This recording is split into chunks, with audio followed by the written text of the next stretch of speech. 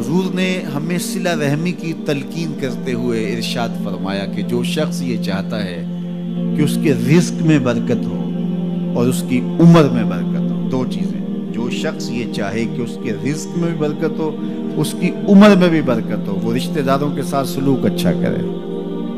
जब वो सिला रहमी करेगा तो अल्लाह ताला उसके बदले में उसकी उम्र में भी बरकत करेगा और उसके रिस्क में भी बरकत।